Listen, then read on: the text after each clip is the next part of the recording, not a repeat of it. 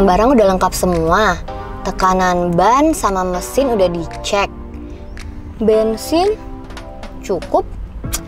Oke, sekarang waktunya kita mulai road tripnya.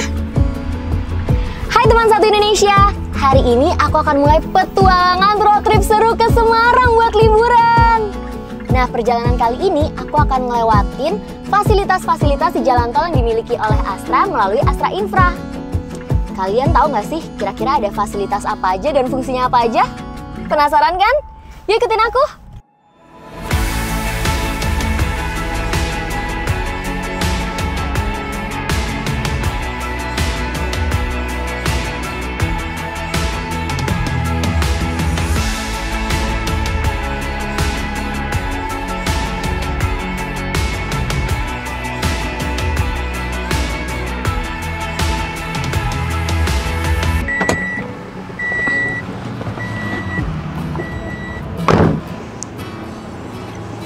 Sekarang aku udah sampai di salah satu kantor anak usaha Astra Infra, yaitu Astra Infra Toll Road Cikopo Palimanan yang berada di Subang. Ini tuh salah satu tempat untuk mendukung aspek keselamatan dan juga kenyamanan pengguna jalan. Penasaran kan? Yuk kita masuk!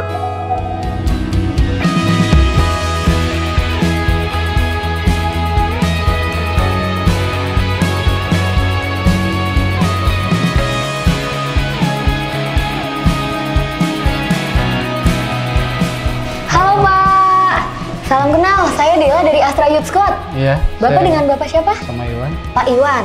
Pak Iwan, katanya di sini tuh ada ruangan yang isinya tuh CCTV untuk memantau arus lalu lintas ya Pak? Hmm, iya ada. Ah, ruangan apa itu? Namanya TMC. Nah, Traffic Monitoring Center. Ah, boleh lihat nggak Pak? Boleh. Ayo, Mau mari sekarang? Pak. Mau, mau, mau. Ayo.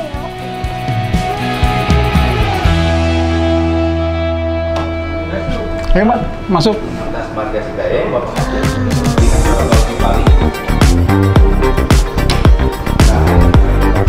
Oh, ini Pak yang namanya ruangan TMC. Iya. Apa itu TMC Pak? Traffic Monitoring Center. Traffic Monitoring Center. Wow, jadi gimana nih Pak persiapannya teman-teman dalam menghadapi Nataru? Ya, salah satunya karena kita di ruang TMC, saya persiapan dari CCTV-nya dulu, terus ke timnya, sampai ke sarana-sarana seperti CCTV, VMS, kendaraan, baik derek ataupun patroli, ambulan, sampai yang sekarang kita persiapan di event Nataru itu tim kontraflow. Oh, jadi udah ready semuanya ya Iya. Pak? Nah kalau di ruangan ini sendiri nih, ada teknologi apa aja sih Pak? Ini kan canggih banget tuh layarnya Hmm. banyak banget, mantau semua jalanan. Jadi kita di sini sepanjang 116 kilo itu ada namanya CCTV yang per 1 kilo. Itu dari satu dari 72 sampai 188. Dan ada yang per 500 ki eh, 500 meter itu dari Subang sampai Cikedung dari 110 sampai 138. Salah satunya itu plus PMS yang ada di tiap ujung eh, mau masuk ke arah Cipali, baik di luar dari Jakarta atau dari Cirebon. Wow, pantesan CCTV dan layar harus banyak Iya, ini ya Pak? Sama Videotron, Videotron tuh di setiap gerbang, Selalu rest ada area. nih. mm. Nah Pak, kalau tugasnya teman-teman masing-masing di sini tuh ngapain aja sih Pak sebenarnya? Hmm, kalau maaf, Ya, kalau yang perempuan Hmm.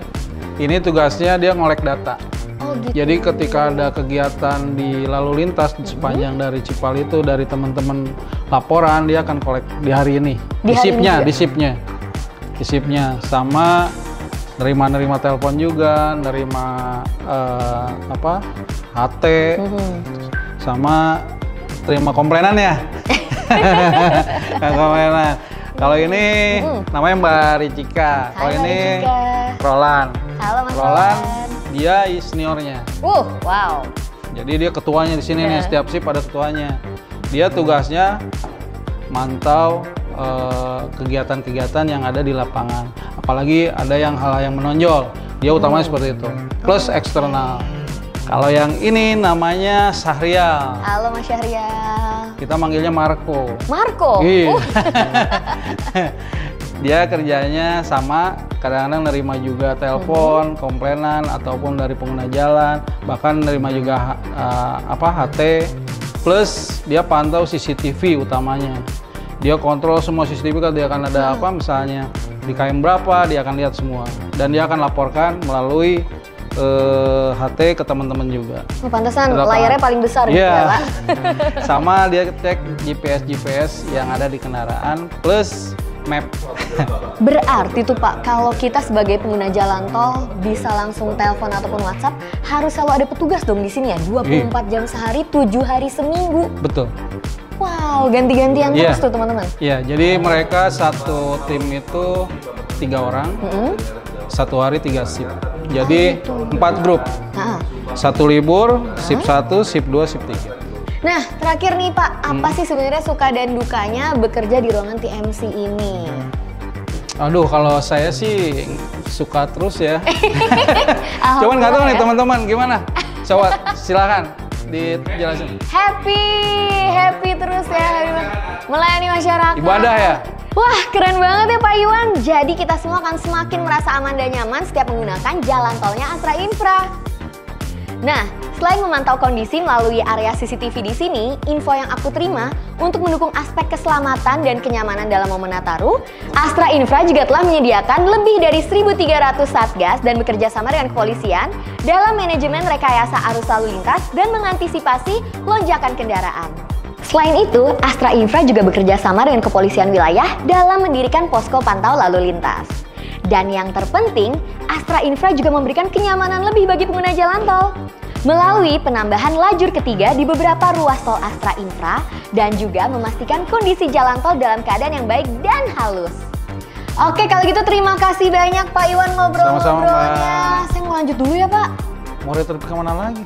Jadi saya tuh sebenarnya mau liburan akhir tahun di Semarang. Nah tapi sebelumnya saya tuh mau mampir dulu ke Resta Pendopo KM 456.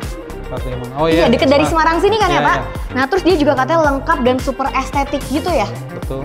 Nah kan makanya saya harus banget ke sana nih. Ada jembatan nih. Ada jembatannya ya? Oke siap kalau gitu Iya, deh. oke. Makasih banyak Pak Iwan, saya Iya, pamit dulu ya Pak. Terima kasih. Silakan. Hati-hati, Pak.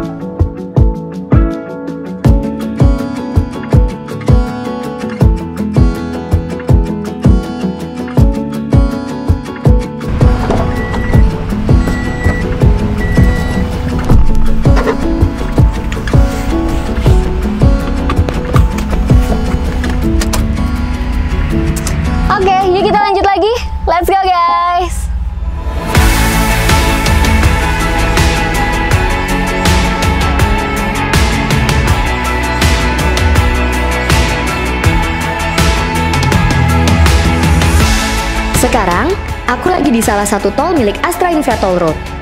Selain dari ruang TMC yang kita lihat tadi, di sini fasilitas keamanannya emang bener-bener lengkap banget. Mulai dari fasilitas untuk keamanan kita seperti wire rope, rumble dot, speed reducer,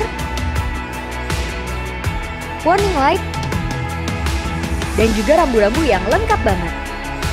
Dari tadi juga aku lihat banyak banget petugas dari Astra Infra yang siaga dan bantuin pengguna jalan ketika ada kendala.